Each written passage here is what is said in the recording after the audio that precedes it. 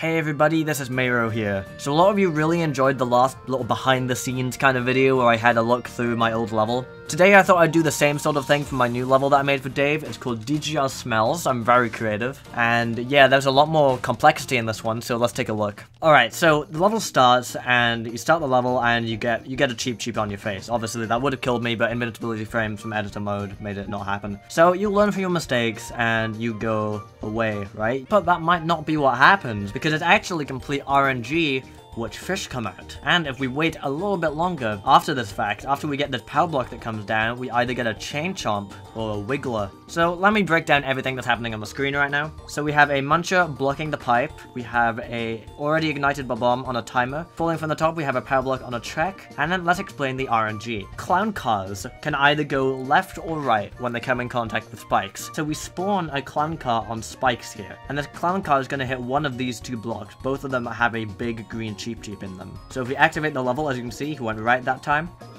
but he went left that time. This one here is falling down. Now this one's responsible for the Chain Chomp and the Wiggler. So the next troll, basically, there's a massive speedrun section, and the entire point of this is just to bait him into triple jumping because you're not meant to triple jump. The most successful way for me personally, although anyone can do this differently, I like to do a short hop triple jump like this. Now, you see that muncher there? The muncher punishes you for trying to take your time. So, let's say you accidentally walked into the POW and you love taking your time, then you'll get punished because the muncher on tracks will come up and get you. So just like before, the muncher's on a timer. Now we'll move on to this part. So, I was trying a few things. I thought I'd put these arrows just in case it was enough. Maybe if, maybe if he was tired enough, maybe he'd get hit by a ground pound cancel. So you just come down here and you have to make this jump. And now it's the joys of wall jumping up here, right? No, it's not. So what's going on here is we have a note block, and the note block contains a giant winged muncher, and it's being activated by a muncher. But why is it only activating, like, once you reach it? Like, why isn't it... You can't wait for it, so why, why is it only then? Well, the reason why is pretty simple. Um, note blocks can only release their contents if they're on screen. So if we were to move this guy just down a little bit, I would get there, and you can see that Muncher, he fell down right away. So also if we spawn up here, again, the Muncher will fall right away. So using this knowledge, we're gonna use some epic spawn tricks right here to make it so that this Muncher that's kind of hidden behind the sword, this Muncher loads, but this Muncher doesn't load. So what you have to do is you have to come down this way, and you have to wall jump, and then you only go between the swords, then you come back down, and then you wait for the bomb to activate. Don't go to the top. And now we have some more wizardry. So there's a few things you can do. You can uh, wait for the thwomp. Don't do that. He doesn't... he's, he's a bit lazy today. He didn't really want to go back up. You can also try and get that POW block, uh, which is the solution. Breaking news. But let me just explain how this thwomp trick works. Um, this isn't, like, my original idea. I think I saw it in the troll level. I think it's called Seven Stupid Pieces. That's where I got the idea from. Basically, we have this block on wings. And it's under the floor like this. And this block on wings is pushing the thwomp up. Like, the thwomp is already on the ground, but it's pushing it up to the ceiling. And then the block on wings is flying away on a little, on its own little merry adventure, so we can't see it anymore. So if we start the level here, you can see how it works. The Thwomp is going up there, then he stays. But obviously, his actual position where he has to return to is still down here. So if we hit him and we go back, he will just not rise back up. So for this, as long as you run and duck, you can make it over. And, uh, yeah. But let's say you came to the conclusion that the POW was impossible, because you can't just run, you have to run and duck. Well, you might try and go up here. And you might think that for sure, this is the solution, right? No. So when you come through the door, you'll be fed into this lovely, lovely contraption, where it's another randomizer. It's randomized whether it's going to let you go to the left or to the right. Now, this could go many ways. He could not die at all, or he could be dying, like, over and over again.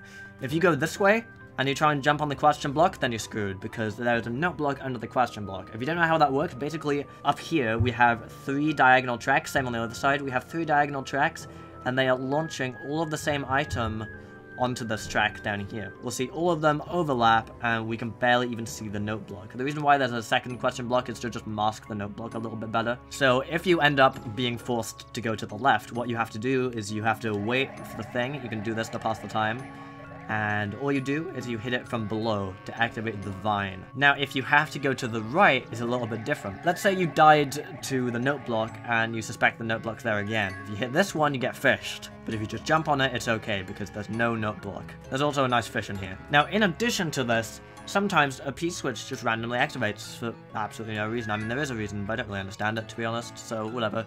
But all we need to know is that if it activates, then it kills you. Once you're out here, do we jump into this? No, we don't. There really is a hidden block, I wasn't lying. There's also just hidden blocks all along here with chain chomps, just for your enjoyment. Anyone who plays this level is probably really looking forward to seeing this contraption. Alright, so don't stand here, otherwise, uh, when the POW block hits the note block, note block moves down, and it tries to push the muncher one block over. And then we, this is just not even a troll, it's just fun platforming. Don't you love to platform, but you can't see what you're, what you're spinning on?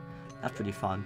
Again, some fun platforming. so this part's probably one of my favorite parts right here. I try to make it look like the POW block comes out of the pipe, really is not coming out of the pipe. So the idea is you get this POW block, and then you go back and you get another POW block. But obviously, if you just get the POW block, you're gonna get booed in the face, dude. When a POW goes off, all coins drop down, and because of the gravity, because coins now have gravity, they will activate note blocks. All of these note blocks have different types of boo circles in them. So the real solution is to use the invincibility frames you get when the boos are still spawning to just jump through like that. Now we have this section. It looks like there's an invisible block or something. That's not. It's just, just a thwomp. and now we have this section. This section is incredibly complicated. I'll try and explain it the best I can, but like, if you don't understand it, I'm sorry. so a lot of you always claim that I'm ripping off Ceave, and today I'm happy to announce to you, for the first time, I actually am ripping off Ceave. It's not really ripping off though, because he didn't invent this tech, but he did make me understand it and did make me aware of it. This uses the giant gap tech. If you're not familiar with it, basically, if you make the game lag by maybe collecting a power-up or taking damage, it will do something to the level. So here, it lags from getting the mushroom, and so a P-switch goes off. So why does that happen? May I introduce you to this lovely contraption that Icay made? Okay, let me try my best to explain what's going on. So, you spawn down here while you're waiting for the chain chomp. The shells are gonna go down, and they're gonna be stuck on these platforms. Do you see that? They're stuck down here. Now, why are there platforms on tracks? Well, items on tracks will always stay loaded, even when you leave the area. Let's say, for example, we left this area. The game would stop trying to load the munchers back at the start by the pipe, because it would just be too much to load, right? But all items on tracks will stay loaded, and all items on items on tracks, like these P-switches and soon to be the shells, will stay loaded. You see these bills, these bill blasters moving back and forth? You notice how there's a bit of a gap in them? Well, item lag is enough to separate them. If they get separated, it means they're no longer on an item that's on tracks, which means they unload. If they unload, then that means this shell or this shell, they don't have a wall to bounce off anymore it hits a P-switch. Sorry if I didn't explain it very well, Ceave Gaming has a video explaining it really well, but I just wanted to try and explain the contraption a little bit to you, I hope that makes sense. Anyway, for the section we have to dodge the mushrooms.